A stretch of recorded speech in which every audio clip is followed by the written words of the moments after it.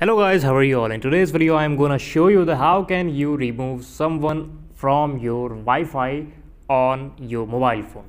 So just start the video.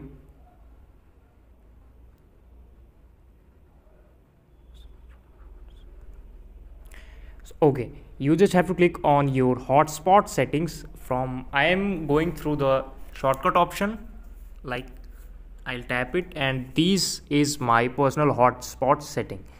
First of all if you want to first of all if you want to block any of your device from your personal hotspot you just have to like this is my blacklist.